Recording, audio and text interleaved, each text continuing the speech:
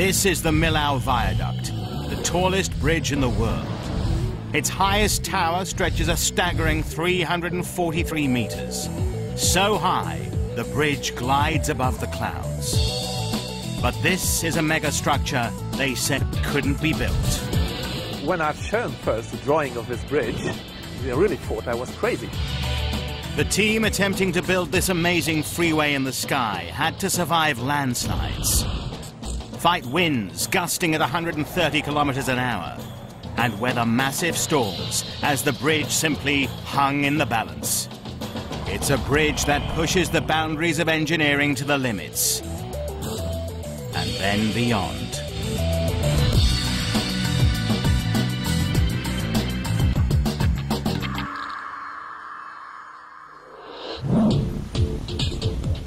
Imagine building a series of Eiffel Towers, then slinging a four-lane highway between them, all the way across one of the deepest valleys in France.